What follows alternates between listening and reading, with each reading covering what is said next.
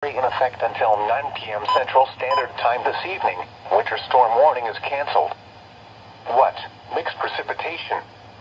Additional snow accumulations up to 1 inch and ice accumulations around a light glaze. Where? Portions of central, east central, south central, and southwest Missouri. When?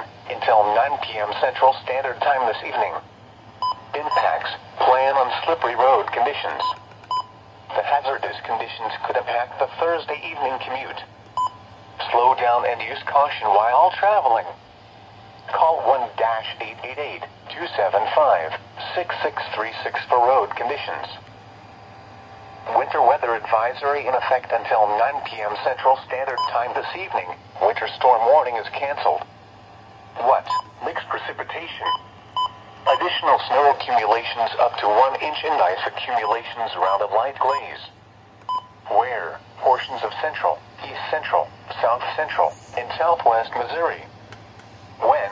Until 9 p.m. Central Standard Time this evening. Impacts. Plan on slippery road conditions. The hazardous conditions could impact the Thursday evening commute. Slow down and use caution while traveling. Call 1-888-275-6636 for road conditions. At 2 p.m.